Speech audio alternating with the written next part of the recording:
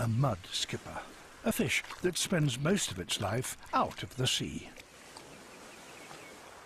It can walk on land and breathe air. Its life is very different from that of most fish.